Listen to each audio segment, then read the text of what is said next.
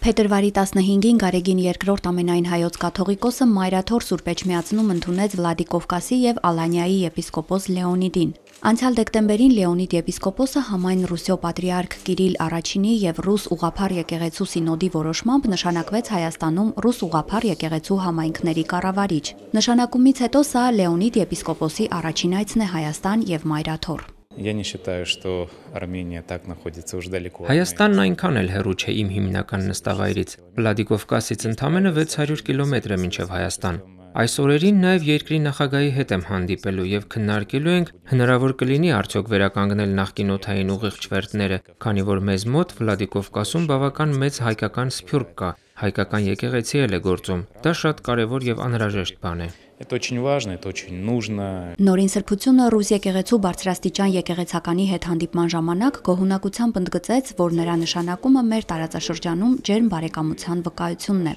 Ամենայն հայոց հայրապետը վստահություն հայտնեց, որ այսուհետ ավելի կզորանան ու կամրանան հայաստանյայց առաքելական եւ ռուս ուղափառ եկեղեցիների սերտ կապերն ու գործակցությունը։ Լեոնիդ եպիսկոպոսը ջերմ ընդունելության համար շնորհակալություն հայտնեց վեհափառ հայրապետին եւ կիսվեց Հայաստան եւ Մայրաթոր կատարած իր այս առաջին այցի տպավորություններով։ Սրբազանը կարևորեց բարեկամական գործակցությունը երկու եկեղեցիների եւ ժողովուրդների միջև, վստահեցնելով նորին սրբությանը, որ իր ծառայությամբ անելու է ամեն բան, նպաստելու համար փոխհարաբերությունների զարգացմանը։ Есть понимание, что нам нужно Կա углублять. փոխըմբռնում, կարևոր է զարգացնել մեր եղբայրական հարաբերությունները։ Այսօր նորին սրբությանը առաջարկեցի զատկից հետո Երևանում եւ այլ քաղաքներում կազմակերպել Հյուսիսային Օսեթիայի մշակույթին նվիրված օրեր։ э, неделю культуры Республики Северная Осетия Алания э, в Республике Армения. Мы после Пасхи планируем привести себя. Ծրագրում ենք մի քանի ստեղծագործական խումբ բերել Հայաստան։ Կգան մեր հոգևոր երգչախումբը, Վախթանգովի անվան դրամատիկական թատրոնը։ Նման ժողովրդական դիվանագիտությունը, մշակույթի քարոշչությունը կարծում եմ պահանջված կլինի։ Դա շատ նման է այն կենթանի խոսքին, որ տարածում է եկեղեցին։ будет востребована и будет являться лучшим свидетельством живой проповеди, которая должна нести мать церковь. Ռուսական ծխերի վերատեսչի նշանակումը կարևոր է բազմաթիվ իմաստներով, նշեց Տեր Շահե ծայրագույն վարդապետ Անանյանը։ Սա նշանակում է, որ կանոնի համաձայն առնվազն 5 տարին մեկ այս վերատեսուչը պետք է այցելի ամբողջ տարածքը, ծուխերը,